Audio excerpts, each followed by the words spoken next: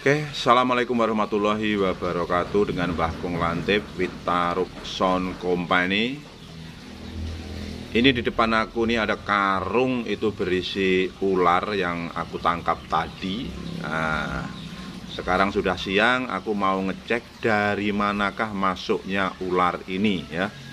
Padahal sudah aku tembok seperti itu ya. Oke, ini posisi kandang kita kita lihat dari luar, lihat sendiri ya, pakai panel 2 meter kemudian ditambahi seng lagi di atasnya. Yuk kita kelilingi. Nah itu lihatlah ya.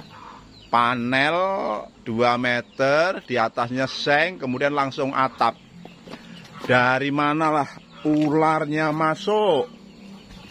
Oke. Kita lihat. Ya. Nah ini ini ini ini ini. Ada apa namanya ini ini nah ya Nah, kemudian ini malah di atasnya aku tambahi seng tiga itu. Ini juga. Oke, kemudian ini posisi belakangnya memang rawa. Nah, itu kayak rawa, kotor sekali. Itu kebun sawit. Nah, itu ada apa namanya itu? Rumbia.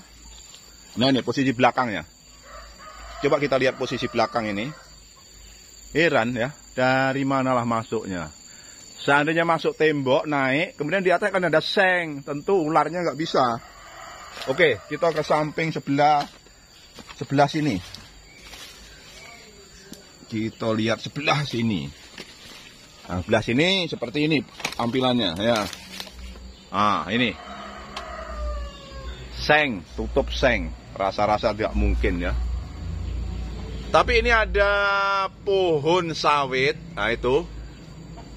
Nah, ini ini ini yang nempel ke tembok